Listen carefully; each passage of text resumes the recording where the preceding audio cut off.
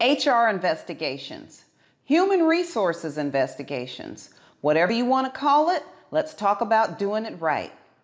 Let's get into it.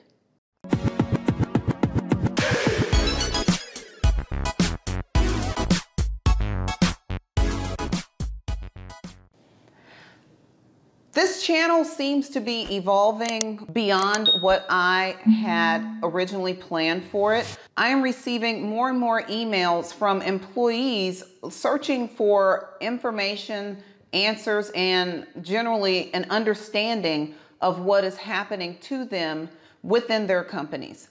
I received an email from an individual stating that they were the focus of an HR investigation because they added a tagline to a business account to where if you saved the person's information, you would see this tagline under their name. What's disturbing to me about this story is that the individual, the HR person who was doing the investigation stated that they weren't sure if he violated a policy. So I decided I'm going to do a video to talk about HR investigations and how they should be done.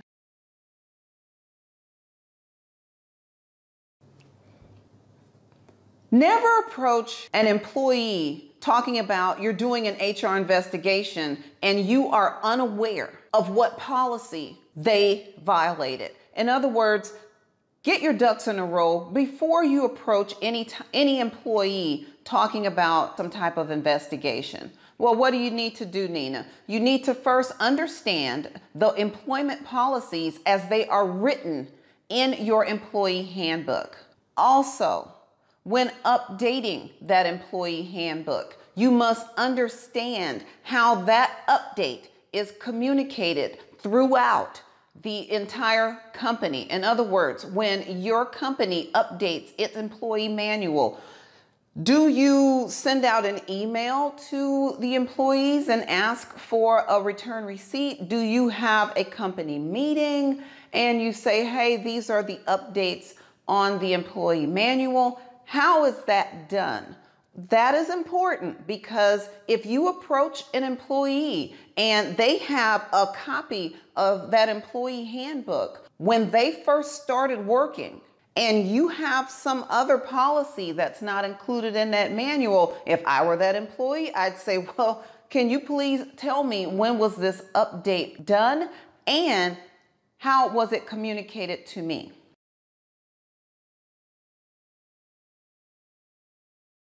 And when I say know what's in your company's handbook, I am not saying know it verbatim. Page 24, section 2, level B states blah, blah, blah. You, you're not going to know that much detail, but you should know approximately where you need to go to look for the information you're looking for.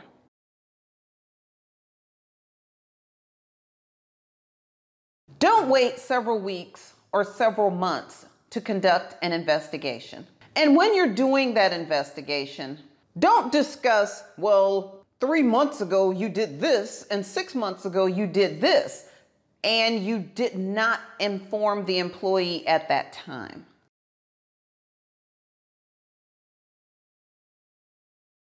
Understand the laws in the state where your company resides as it relates to this policy that the employee violated.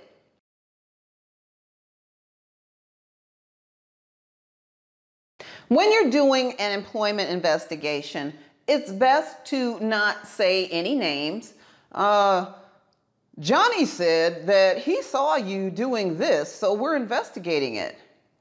Tammy heard that through the grapevine you did blah, blah, blah. That is not the way to properly conduct an investigation. If someone brings something to your attention as an HR person, it is best that you get up and go observe the behavior or action yourself. That way, you keep other people out of this situation as it relates to the employee violating the policy and the company.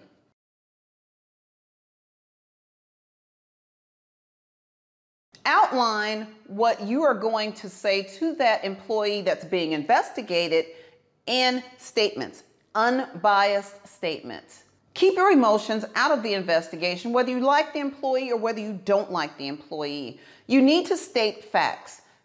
On this date and this time, you violated this policy. This policy is on page blah, blah, blah in the employee manual. Here it is right here, and I'm going to present it to that employee so they can read it. This policy was updated on X amount of day, week, month, and you received that email. You were in that meeting. You were somewhere where you were notified that the policy had been updated. After that policy was added or updated, then you did the violation.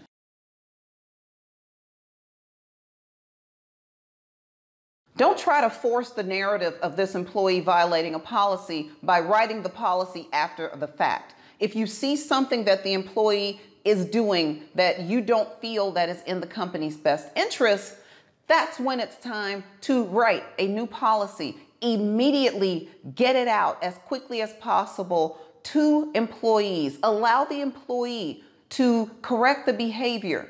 Then, if after three or four days this has not been changed, then you approach the employee. Now you have a policy. Now you can say you're violating the policy, but don't try to write a policy after the fact, after you tell the person they're being investigated and then try to backdate a policy because that not only makes you look incompetent as an HR person, it sheds a negative light on your company as picking on employees or singling out employees doing things that you may not personally agree with.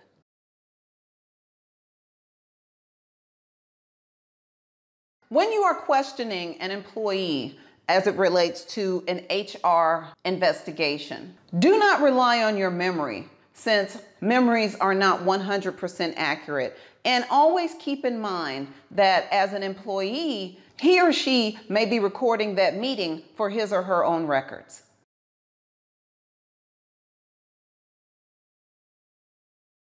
It is important for all HR professionals to fully understand how an HR investigation can affect an employee, their motivation to work, and how they feel about your company. Thanks for watching.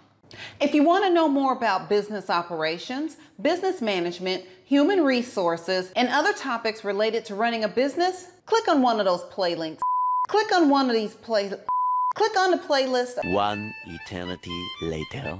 Click on one of these playlists. Thanks for watching. And don't forget to subscribe.